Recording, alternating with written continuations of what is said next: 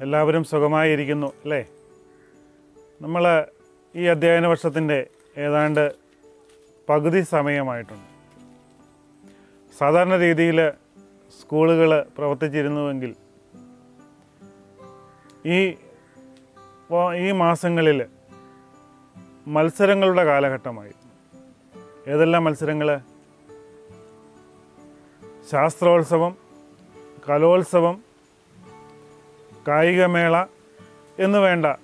കുട്ടികളുടെ കലാപരവും കായികവുമായ എല്ലാ കഴിവുകളും വികസിപ്പിക്കുന്നതിന് വേണ്ട മത്സരങ്ങൾ നടത്തേണ്ട സമയമായിരുന്നു ഇത്. എന്തു ചെയ്യാം? ഈ വർഷം അങ്ങനെയുള്ള മത്സരങ്ങൾക്ക് യാതൊരു സാധ്യതയുമില്ല. എങ്കിലും നമ്മൾ പല രീതിയിൽ പല മത്സരങ്ങളും നടത്തുന്നുണ്ട്. നമുക്കറിയാം ഓൺലൈൻ മത്സരങ്ങളുടെ കാലഘട്ടമാണല്ലോ. നമ്മുടെ സ്കൂളിലും പല ദിനങ്ങളുമായിട്ട് ബന്ധപ്പെട്ട ഓൺലൈൻ മത്സരങ്ങൾ നമ്മുടെ ശ്രദ്ധയിൽപ്പെട്ടിട്ടുണ്ട്. നവംബർ ഒന്ന് കേരളപ്പിറവിയോടനുബന്ധിച്ച് അഖില കേരള അടിസ്ഥാനത്തിൽ നമ്മുടെ സ്കൂളിൽ നടത്തുന്ന പ്രസംഗ മത്സരത്തിന്റെ പോസ്റ്ററുകൾ നിങ്ങൾ കണ്ടു കാണും. ഈ പോസ്റ്ററുകൾ കേരളത്തിന്റെ വിവിധ ഭാഗങ്ങളിലെ സ്കൂളുകളിൽ എത്തിയിട്ടുണ്ട്. പല കുട്ടികളും വിളിച്ച് അന്വേഷിക്കുന്നുമുണ്ട്. ഈ മത്സരങ്ങളുമായിട്ട് ബന്ധപ്പെട്ട് രണ്ട് കുട്ടികളുടെ പ്രതികരണങ്ങൾ നമുക്കൊന്ന് കേട്ടു നോക്കിയാലോ? പ്രസംഗോത്സവത്തിന് ഞാനങ്ങുമില്ല. ആ കേരളത്തിലെ എല്ലാം നന്നായിട്ട് പ്രസംഗം പറഞ്ഞ പിള്ളേരും കാണും. നമ്മളൊക്കെ വെറുതെ വിഷയം പറഞ്ഞ് മെനക്കെടാന്നേ ഉള്ളൂ. കഴിഞ്ഞ തവണയും കൂട്ടിയിട്ട് സമ്മാനമൊന്നും കിട്ടിയില്ലല്ലോ.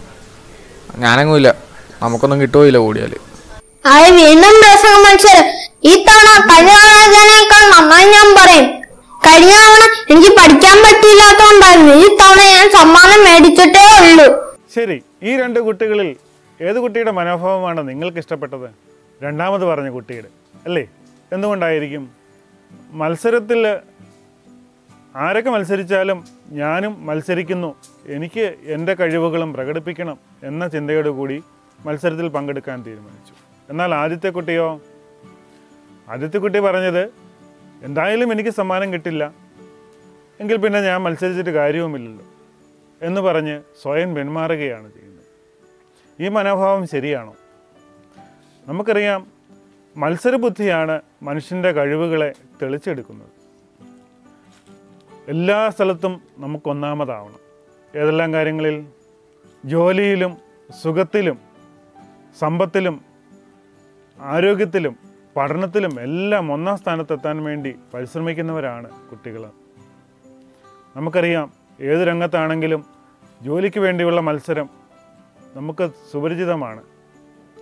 നിങ്ങൾ പത്താം ക്ലാസ്സും കഴിഞ്ഞ് ഉന്നത വിദ്യാഭ്യാസം കഴിഞ്ഞ് ജോലിക്ക് വേണ്ടി ശ്രമിക്കുമ്പോൾ അവിടെയാണ് മത്സരത്തെ നിങ്ങൾ നേരിടാൻ പോകുന്നത്. നമ്മുടെ കഴിവുകൾ പരമാവധി പ്രയോജനപ്പെടുത്തി മത്സര രംഗത്ത് ശ്രമിച്ചെങ്കിൽ മാത്രമേ നമുക്ക് ഒന്നാമതെത്താം. മത്സരിച്ചാൽ മാത്രമേ നമ്മുടെ കഴിവുകൾ വികസിപ്പിക്കുകയുള്ളൂ. ഈ കാര്യങ്ങൾ നമ്മളെ ഓർമ്മിപ്പിക്കുന്ന ഒരു അധ്യായമാണ് സന്മാർഗ പാഠത്തിന്റെ അഞ്ചാമത്തെ അധ്യായം മത്സരിക്കുക ഉയരൂ. നമുക്കറിയാം മത്സരബുദ്ധി മനുഷ്യന് സ്വാഭാവികമാണ്. വലിയ വലിയ കായികമേളകൾ നടക്കുമ്പോൾ മത്സരങ്ങൾ നമുക്ക് വളരെ ആവേശം നൽകുന്നവയാണ്. ഒളിമ്പിക്സ് മത്സരത്തിൽ നൂറ് മീറ്റർ മത്സരം നമുക്കൊന്ന് കണ്ടു നോക്കാം.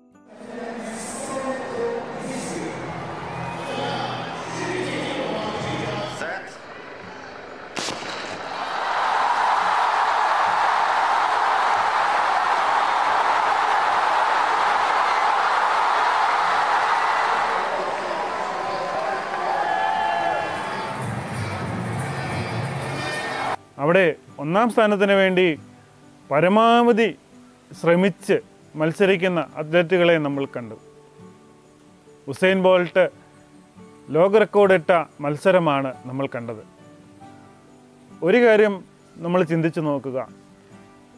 ഏറ്റവും മുന്നിലെത്തുന്ന ആളിന്റെ തൊട്ടുപുറകിൽ എതിരാളി ഇല്ല എങ്കിൽ ഒന്നാമത് ഓടുന്ന ആൾ വളരെ അലംഭാവം പ്രകടിപ്പിക്കും. തന്റെ കഴിവ് പരമാവധി പുറത്തെടുക്കുകയില്ല കാരണം എന്റെ തൊട്ടുപിറകിൽ ആളില്ലല്ലോ. എനിക്ക് ഓടി ഞാൻ ഏതായാലും മുന്നിലെത്തും. എനിക്ക് മുന്നിൽ എത്തിയാൽ മതിയല്ലോ എന്ന് ചിന്തിക്കും. പക്ഷേ തൊട്ടുപിറകിൽ ആളുണ്ടെങ്കിൽ നമ്മുടെ കഴിവിന്റെ പരമാവധി ശ്രമിച്ച് നമ്മൾ ഓടും ലോക റെക്കോർഡിന് ഉടമയാവുകയും ചെയ്യും. ഇതാണ് മത്സരത്തിന്റെ ഒരു ഗുണം. നമുക്ക് അറിയാം മനുഷ്യന് മാത്രമല്ല മൃഗങ്ങളിലും ജീവികളിലും ഈ മത്സരബുദ്ധി പ്രകടമാണ്. ഒരു കൂട്ടത്തിൽ ഒന്നാമതാകാൻ വേണ്ടി പരസ്പരം മല്ലടിക്കുന്ന മൃഗങ്ങളെയും ജീവികളെയും നമ്മൾ കാണാറുണ്ട്. ജീവശാസ്ത്രത്തിൽ ഒരു സിദ്ധാന്തം തന്നെയുണ്ട്. അർഹതയുള്ളത് അതിജീവിക്കും. സർവൈവൽ ഓഫ് ദ ഫിറ്റസ്റ്റ് നിങ്ങൾ കേട്ടിട്ടുണ്ടല്ലോ.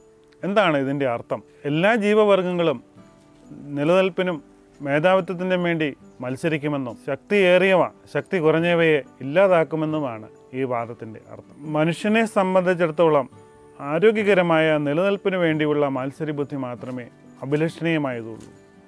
മത്സരം ഒരു മത്സര്യമാവരുത്.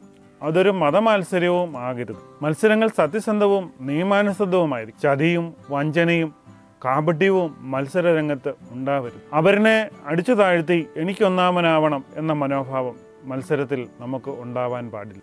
ഓരോരുത്തരും സ്വന്തം കഴിവുകൾ വികസിപ്പിക്കുന്നതിനും അവ നേടിയെടുക്കുന്നതിനും വേണ്ടി ആരോഗ്യകരമായ മത്സരം ആകാവൂ. ഈ മത്സരങ്ങളെല്ലാം അന്തസ്സുറ്റതും ലക്ഷ്യബോധമുള്ളവയുമായി. മത്സരബുദ്ധി വേണമെന്ന് പറയുമ്പോൾ സഹജീവികൾ തമ്മിൽ മത്സരിച്ച് കലഹങ്ങൾ ഉണ്ടാക്കി ജീവിക്കണം എന്നല്ല അർത്ഥമാക്കുന്നത്. ഓരോരുത്തരും അവനവന്റെ കഴിവുകൾ പരമാവധി വിനിയോഗിച്ച് മുന്നേറുവാനുള്ള ശ്രമമാണ് മത്സരബുദ്ധിയിൽ ഉണ്ടാവേണ്ടത്. എനിക്ക് കൂടുതൽ ശ്രേയസ് ഉണ്ടാകണം എന്ന മനോഭാവം മാത്രമാണ് മത്സരരംഗത്ത് ഉണ്ടാകുന്നത്. ആരെയും നശിപ്പിക്കാമെന്ന ചിന്ത മത്സരരംഗത്ത് ഉണ്ടാവാൻ പാടില്ല. ശാസ്ത്രരംഗത്തും ബഹിരാകാശ രംഗത്തുമൊക്കെ റഷ്യയും അമേരിക്കയും തമ്മിലുള്ള മത്സരമാണ് മനുഷ്യനെ ചന്ദ്രൻ എത്തിക്കുന്നത് വരെയുള്ള കാര്യങ്ങളിൽ എത്തിച്ചത്. ഇത് തന്നെയാണ് പല രംഗത്തുമുള്ള കണ്ടുപിടുത്തങ്ങളുടെയും കാരണം. രാജ്യങ്ങൾ തമ്മിലുള്ള മത്സരങ്ങൾ പല കണ്ടുപിടുത്തങ്ങളിലേക്കും വഴിതെളിച്ചിട്ടുണ്ട്. ഇപ്പോഴാണെങ്കിലും നമുക്കറിയാം രാജ്യങ്ങൾ തമ്മിൽ കൊറോണ വാക്സിൻ കണ്ടുപിടിക്കുന്നതിനുള്ള മത്സരബുദ്ധിയായുള്ള ശ്രമത്തിലാണ്. എനിക്ക് മുന്നേറണം എനിക്ക് ആദ്യം നേടണം എന്ന ചിന്ത. എന്നാൽ ശാസ്ത്രരംഗത്തുള്ള ഈ മത്സരം മനുഷ്യനാശത്തിലേക്ക് തന്നെ വഴിതെളിക്കുന്ന രീതിയിലേക്ക് മാറിയിട്ടുണ്ട്. പരസ്പരം നശിപ്പിക്കാവുന്ന രീതിയിലുള്ള ആയുധങ്ങളുടെ കണ്ടുപിടുത്തവും അതിന്റെ കരുതലും കൂട്ടിച്ചേർക്കലും ഒക്കെ മനുഷ്യവംശത്തിന് തന്നെ നാശത്തിന് കാരണമായേക്കാവുന്നതാണ്. ശക്തിയും സമ്പത്തും മനുഷ്യവിഭവവും ഒക്കെ രാഷ്ട്രങ്ങളുടെ നന്മയ്ക്ക് വേണ്ടിയുള്ള രീതിയിൽ മത്സരബുദ്ധി രാഷ്ട്രങ്ങൾ ഉപയോഗിക്കുമ്പോൾ അത് ആരോഗ്യകരമായ മത്സരത്തിലേക്ക് മാറും. ആരോഗ്യകരമായ മത്സരം മറ്റുള്ളവരുടെ ഒപ്പം മുന്നേറാനോ മുമ്പിലെത്താനോ ഉള്ള ശ്രമമാണ് എന്ന് നമ്മൾ കണ്ടു കഴിഞ്ഞു. എന്നാൽ അവരനെ അടിച്ചു താഴ്ത്തിക്കൊണ്ട് അവരനെ ചവിട്ടി വീഴ്ത്തിക്കൊണ്ടുള്ള മത്സരം ഒരിക്കലും അഭിലഷണീയമല്ല. അവരിന് ദ്രോഹമോ നാശമോ ആപത്തോ ഉണ്ടാകുന്ന രീതിയിലുള്ള മത്സരം ഒരിക്കലും അനുവദിക്കാവുന്നതല്ല. രണ്ട് വ്യക്തികൾ തമ്മിലുള്ള മത്സരം ചിലപ്പോൾ രണ്ട് സമൂഹങ്ങൾ തമ്മിലുള്ള മത്സരമായി മാറാറുണ്ട്. മതങ്ങൾ തമ്മിലുള്ള മത്സരങ്ങളും അതിന് ഉദാഹരണമാണ്. അധാർമികവും അനാരോഗ്യകരവുമായ മത്സരങ്ങളും അഭിലഷണീയമല്ല. ജർമ്മനിയും ബ്രിട്ടനും തമ്മിലുള്ള അനാരോഗ്യകരമായ മത്സരമാണ് രണ്ടാം ലോക മഹായുദ്ധത്തിന് വഴിതെളിച്ചത്. നമുക്കറിയാം. ഞാനോ നീയോ എന്ന ചിന്ത അപകടകരമാണ് എന്ന് നമുക്കറിയാമല്ലോ. നമ്മെപ്പോലെ വളരാനും വികസിക്കാനും പ്രവർത്തിക്കാനുമുള്ള സ്വാതന്ത്ര്യവും അവകാശവും അവരിനുമുണ്ട് എന്ന കാര്യം നമ്മൾ വിസ്മരിക്കരുത്. അതിന് അനുകൂലമായ സാഹചര്യങ്ങൾ നാം കാരണം അവരിന് നഷ്ടപ്പെടാൻ ഇടയാവരുത്. അന്യരോട് സഹകരിക്കുകയും അവനെ സഹായിക്കുകയും അവനെ അംഗീകരിക്കുകയും ചെയ്യുമ്പോൾ നാമും അവനോടൊപ്പം വളരുകയാണ് എന്ന ചിന്ത നമ്മളിൽ. നമ്മുടെ ക്ലാസ്സുകളിലേക്ക് നമുക്ക് ചിന്തിച്ചാൽ കുട്ടികൾ തമ്മിൽ പഠനകാര്യത്തിലുള്ള ആരോഗ്യകരമായ മത്സരം കൂടുതൽ പഠിക്കാനും കൂടുതൽ മാർക്ക് മേടിക്കാനും ഉന്നതങ്ങളിൽ എത്തുവാനും കുട്ടികളെ സഹായിക്കും. എന്നാൽ എനിക്ക് എല്ലാ കാര്യങ്ങളും അറിയാം. കൂട്ടുകാരന് അറിയില്ല എങ്കിൽ അവനെ പഠനകാര്യത്തിൽ സഹായിക്കുന്നത് കൊണ്ട് നമുക്ക് ഒരു കുഴപ്പവും വരികയില്ല. അവനെയും നമ്മോടൊപ്പം എത്താൻ സഹായിക്കുക എന്നുള്ളതാണ് ആരോഗ്യകരമായ മത്സരത്തിന്റെ ലക്ഷണം. അപ്പോൾ കൂട്ടുകാരെ പഠനത്തിൽ സഹായിക്കുക നമ്മളെക്കാൾ മുൻപന്തിയിലെത്തിയാൽ അവനെ അംഗീകരിക്കുക അസൂയയോടെ അവനെ നോക്കിക്കാണാതിരിക്കുക തുടങ്ങിയവയൊക്കെ ഈ മത്സരത്തിൽ നമുക്കുണ്ടാവേണ്ട മനോഭാവങ്ങളാണ്. എനിക്ക് മുന്നിലെത്തണം എന്ന ചിന്ത നല്ലതാണ്. പക്ഷേ അവൻ എന്റെ തോളോളം എത്തിയാൽ മതി എന്ന ചിന്ത നമുക്ക് ചേർന്നതാണ്. തന്നോട് മത്സരിക്കുന്ന സമർത്ഥനായ സഹപാഠിയോട് വിദ്വേഷവും അമർഷവും അസൂയയും ഉണ്ടാകുന്നത് കുട്ടികളായ നമുക്ക് നല്ലതല്ല. തന്റെ കഴിവ് വർദ്ധിപ്പിക്കുവാൻ പരമാവധി ശ്രമിക്കുകയും പ്രാർത്ഥിക്കുകയും ചെയ്യുക എന്നതാണ് നമ്മൾ ചെയ്യേണ്ടത്. ചില കുട്ടികളുണ്ട് ഞാൻ ജയിക്കണമേ എന്ന് പ്രാർത്ഥിക്കുന്നതിനൊപ്പം സഹപാഠി തോൽക്കണമേ എന്ന് പ്രാർത്ഥിക്കും. ആ ചിന്ത ഒരിക്കലും നല്ലതല്ല. ഞാൻ ജയിക്കണം അതിനുവേണ്ടി നമ്മൾ ശ്രമിക്കണം അപ്പോൾ മറ്റു കുട്ടികൾക്കും നന്മയുണ്ടാകണം ഉയർച്ചയുണ്ടാകണം എന്ന ചിന്ത നമ്മളിൽ കൂടുതൽ കഴിവുകൾ വർദ്ധിപ്പിക്കുവാനും നമുക്ക് കൂടുതൽ പഠിക്കുവാനും സഹായകരമാണ് അത്തരത്തിലുള്ള ചിന്തയാണ് നമുക്ക് വെച്ച് പുലർത്തേണ്ടത്. ബൈബിളിൽ ഒരു വചനമുണ്ട് വിളക്ക് കൊളുത്തി ആരും പറയുടെ കീഴിൽ വെക്കാറോ പാത്രം കൊണ്ട് മൂടുകയോ ചെയ്യാറില്ല എന്ന് പറഞ്ഞതുപോലെ നമ്മൾക്ക് ലഭിക്കുന്ന വിദ്യ അറിവ് നമ്മൾ മറച്ചു വയ്ക്കേണ്ടതോ ഒളിച്ചു വയ്ക്കേണ്ടതോ കാര്യമല്ല. നമ്മൾ മറ്റുള്ളവരിലേക്ക് പകർന്നു കൊടുക്കേണ്ടതാണ്. എല്ലാവരും വളരണം എന്റെ തോളോളം എന്ന ചിന്ത ആശ്വാസമല്ല എല്ലാവരുടെയും ശിരസിന് മുകളിൽ എന്റെ ശിരസ് ഉയർന്നു നിൽക്കണം എന്ന് ആഗ്രഹിച്ചു കൊള്ളുക.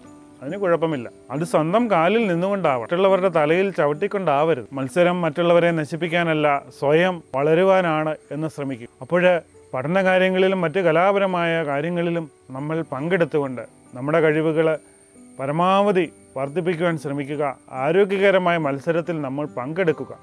ഒരു മത്സരത്തിലും പങ്കെടുക്കാതെ മാറി നിന്ന് കഴിയുമ്പോൾ നമ്മുടെ ഉള്ളിലുള്ള കഴിവുകൾ വികസിക്കാതെ ആദ്യം കണ്ട കുട്ടിയെപ്പോലെ മത്സരത്തിൽ നിന്ന് സ്വമേധയാ പിന്മാറിക്കൊണ്ട് എന്നെ കൊണ്ടൊന്നിനും പറ്റിയേല എന്ന ചിന്തയോടെ മാറി നിൽക്കുമ്പോൾ നമ്മുടെ കഴിവുകൾ വികസിപ്പിക്കാനുള്ള അവസരങ്ങൾ നമ്മൾ നഷ്ടപ്പെടുത്തുകയാണ്. നമ്മുടെ കഴിവുകൾ വികസിപ്പിക്കുവാൻ വേണ്ടി പരമാവധി മത്സരങ്ങളിൽ പങ്കെടുക്കുക. ആരോഗ്യകരമായ മത്സരം ശീലമാക്കുക. പഠന കാര്യത്തിലും മറ്റ് കലാപരമായ കായികപരമായ കാര്യങ്ങളിലും നമ്മൾ ആ മത്സരത്തിൽ പങ്കെടുക്കുമ്പോൾ നമുക്ക് ഉയരുവാൻ സാധിക്കും വളരുവാൻ സാധിക്കും. അങ്ങനെ ആരോഗ്യകരമായ മത്സരം കൊണ്ട് നമ്മുടെ കഴിവുകൾ വികസിപ്പിക്കാൻ എല്ലാവരും തയ്യാറാവുക.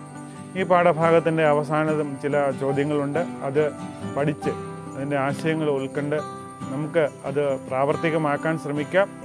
അങ്ങനെ നല്ല ഒരു മത്സരത്തിലൂടെ പഠനകാര്യത്തിലാണെങ്കിലും മറ്റ് രംഗങ്ങളിലാണെങ്കിലും നല്ല മത്സരത്തിൽ നേരിട്ടുകൊണ്ട് നമ്മുടെ കലാപരമായ നമ്മുടെ കഴിവുകൾ നമ്മുടെ കഴിവുകൾ വികസിപ്പിക്കുവാൻ നമുക്ക് കഴിയട്ടെ എന്ന് ആശംസിച്ചുകൊണ്ട് നിർത്തുന്നു.